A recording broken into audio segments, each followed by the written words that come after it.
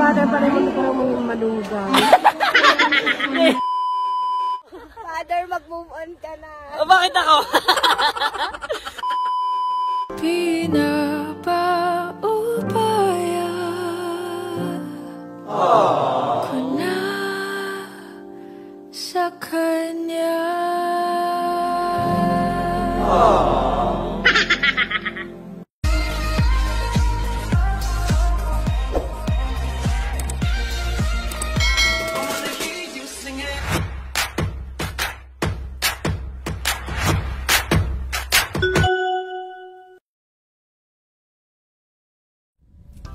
Magandang araw mga kapanalig. So, kita niyo naman po siguro yung title ng ating vlog. Kinakabahan po ako ngayon dahil alam niyo na, no? Hindi ko alam kung anong mangyayari. So, samahan niyo po ako sa aking adventure na ito. At yun na nga po ako nasasakyan. Pupunta na tayo dun sa venue ng kasalan. At ah, tingnan natin kung anong mangyayari. Samahan niyo po ako. Kinakabahan talaga ako. Yan mga kapanalig, kita niyo kung sino nga nasasakyan.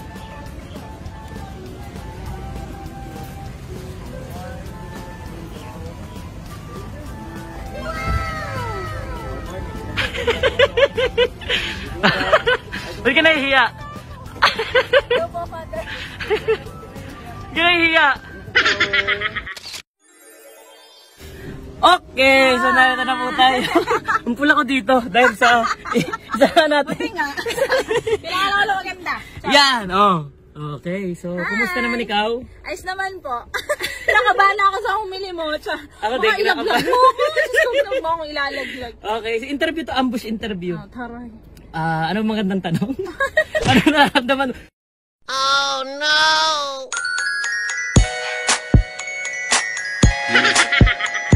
anong nararamdaman mo ngayon tigay kakasal na? Eh, ah, hindi ko alam. Wala. Parang wala. Parang basta, ewan. Sigurado ka na ba dyan? Oo naman. So, anong meron kay Manuel na wala ako? Tiyan!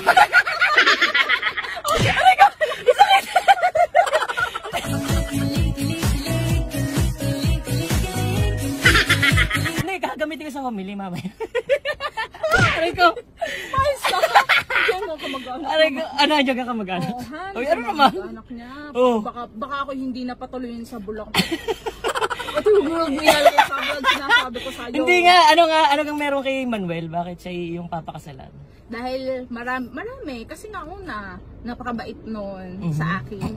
Tapos, yun, talaga, alam mo yung parang, i, inad- i- hindi naman sinadya, parang, hindi naman ipinilit din ni Lord. Parang yun talaga, eh, kahit anong mangyari, si Manny at si Manny pa din. Ah, Manny pala ang tawagan. Ah, Tawag Manny, ang tawag ko sa kanya. Ang tawag mo sa akin? Tawag ko, Sa, eh, tawag sa akin.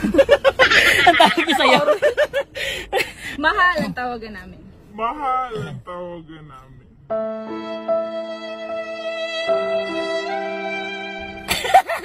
Maniwala? Hindi, naniniwala naman ako ah. Interview ka na nga lang. Ah, eh, bumaba sige. ka. Joke lang.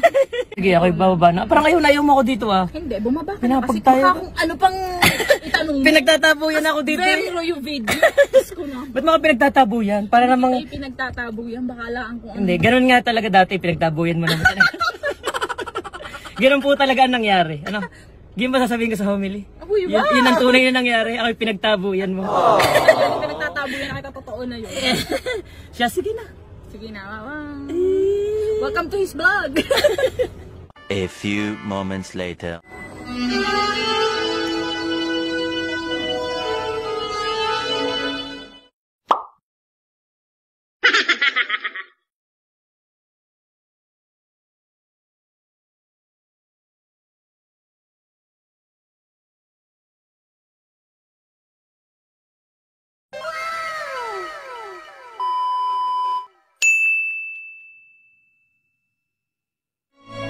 sa dami-dami ng inimbitang pare, sa dami ng inimbitang pare at lahat ho ng pare nandito na, yun hong magkakasal ang wala. Oh no! Kaya hintayin ho natin siya. Pero pwede namang hindi ituloy kung gusto nyo. One eternity later. Magandang hapon po sa ating lahat. Ah, para kay Manuel at kay Corina, congratulations sa araw ng inyong kasal. Kanina, tinanong ko si Corina, kung inyo pong makikita ang kanyang mukha sa monitor, ano, tingnan nyo, yan po ay kinakabahan. Sabi niya, hindi siya kinakabahan sa kanyang kasal. Meron siyang kinakabahan siya dahil baka daw kung ano ang aking sabihin sa, sa homily. At bigla pa nga pong walang magkakasal. Ano, kanina, kaya talagang ah, kabadong-kabado si Corina. Ngayon po inariya na si Father Janse. No, huwag kang mag-alala. Yan. Ako din po, sa tunay, ay kinakabahan. Ano? Dahil meron po kaming ah, mga revelasyon sa araw na ito. Una, kanina habang binabasa namin ng mga pari ang kanilang love story, kasi yun lang naman halos ang ikinekwento kapag ikinakasal, magkaiba sila ng version. Kaya hindi ko alam kung talagang kilala nila ang isa't isa.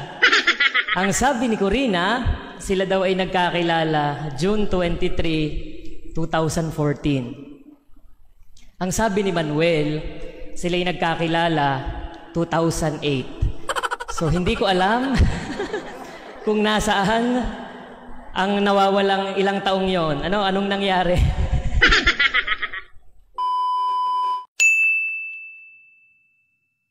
Nung sila'y nag-engage ni Manuel, ya, kinakabahan na daw siya, kitang-kita niyo. Nung siya po nag, ah, nag-engage ni Manuel, ay nagpadala sa akin ng picture si Corina, ng sing-sing. At ang kanyang sabi, Father, may content ka na sa vlog mo. No? Kasi po, binablog ko itong kasal ni Corina. Ako po yung nagbablog. So, kasama po ito. Bakit? Yan ang tanong natin eh, bakit kaya? Bakit kinakabahan si Corina? At bakit ako'y kinakabahan din? Ako'y kinakabahan. Ako'y, ang dami ko na hong naikasal. Ito ho ang pinaka, ako'y nanginginig. Tinan niyo, ako'y pawis na pawis na.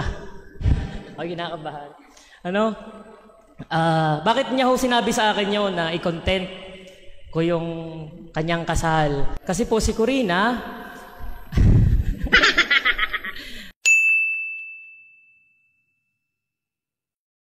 So, ano, para ma- madali na ito at kay makasal na, ano, dahil iniintay nyo talaga ang araw na ito, si Corina ho ay aking ex.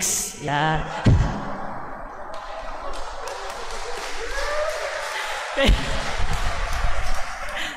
Nakakahiya, live pa naman tayo. Ano? okay, itigil ang kasal. Hindi ako sisigaw na yun. Kaya ako kanina si Jansen ay wala pa. Ano, kinakabahan na si Corina. Sabi ko, Corina, hindi yata matuloy ang iyong kasal. Sabing si Jansen ay ko eh. Best friend ko ho yung magkakasal kay Corina. Ay kaya hindi nadating si Jansen, parang ayaw ituloy. ano, gayong pa man, the past is past. Ano nga, Corina? okay, so, yun ho'y matagal na. At ngayon naman, may kanya-kanya na kaming buhay. Ako'y pari na, at ngayong araw na ito, si Corina ikakasal na. No? At kanina, tinatanong ko si Corina, ikaw ba'y masaya sa araw ng iyong kasal? Ang sabi niya ay masayang masaya siya. No? Kasi ramdam niya nang dumating sa buhay niya si Manuel, ay yun ang paggalaw ng Diyos. At nang in-interview naman si Manuel, ni Father Mike, ang sabi ni Manuel, si Corina daw ang kanyang lucky charm. Kasi mula nang dumating si Corina, ay parang umayos ng umayos ang kanyang posisyon sa kumpanya at naging maayos ang kanyang buhay. No? Yun nga lang, hindi sila magkasundo kung kailan talaga sila nagkakilala. Kung 2008 o 2014, yan, nag-aaway na. Kita nyo sa monitor, oh. Gayun pa man, ano, ang kasal na ito ay masaya tayo para sa kanilang dalawa. At alam ko naman kayo ay parehong madasalin. Si Corina ay matagal yung naglilingkod sa simbahan. Kaya nga kami nagkakilala. No? Pero wala na yon. Ano, si Manuel ang kanyang papakasalan sa araw na ito. At ah, alam kong kayong dalawa ay talagang sabi nyo nga ay gumagalaw ang Panginoon sa inyong buhay. Ano, nakikita nyo ang paggalaw ng Diyos. Kaya kaya dumating ang araw na ito. Kayo ay mag, nagkatuluyan, kayo ay magpapakasal sa isa't isa. One eternity later. So yun ang aking bilin sa inyo, no? Na sana ah, maging maayos, maging masaya, maging matiwasay ang inyong buhay may asawa. Alam kong masaya kayo sa isa't isa. No? Masaya kayo sa isa't isa, alam ko yan, tawa ka ng tawa. at ah, ang aking hiling ay sana'y magkaroon kayo ng maayos at masayang pamilya. So hanggang dito na lamang ang aking masasabi sa inyo, Manuel at ah, Corina. Kita ko na sa mga mata ni Manuel, sabi niya ay, Father, tama na. ikasal na kami, ikasal na kami. Ano? So hindi ho ako magkakasal. At ah, si Father Jansen, narito na si Father Jansen. Huwag ka mag-alala, hindi naman ako tisigaw ng itigil ang kasal. Walang gayon. Sa pelikula lang yun nangyayari. So muli, congratulations kay Manuel at kay, kay Corina. Best wishes at dadako na po tayo sa rito ng kasal.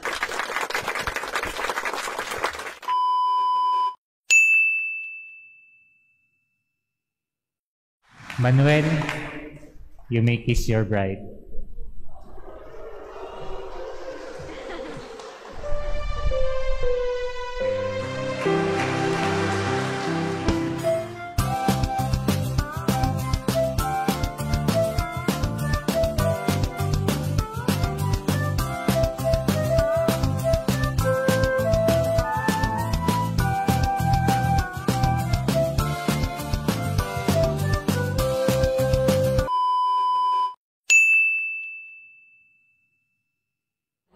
Pong naging reaction niya doon sa revelasyon ng pare? Akalain mo yan, mahilig talaga siya sa medyo maliliit na tao. Maliliit na tao. Mali talaga ako. Hindi kasi ang partido namin, yung sa side ko, maliliit. Kaya siguro siya ay ma malapit sa mga lalaking maliliit.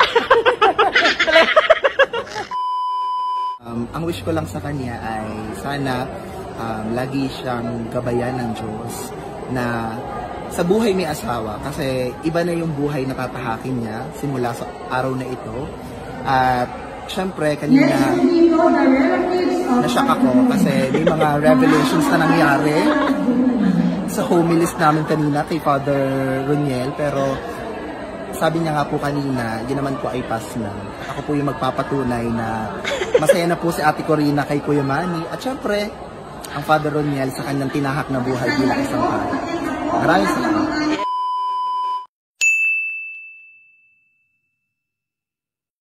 Si Father pa rin ko mong malugaw. Ay, sinong mas ah, lamang sa inyo? Si Manuel o si Padre? Ay, sino kung sino kanyang gustong talaga. yeah. Ay, hindi, may sadyang buhay ka nakalagay. Opo, amen. so meron tayo dito mga kapanalig na Marites. meron nagko-comment. Sige, ano masasabi mo? Father, mag-move on ka na. o bakit ako?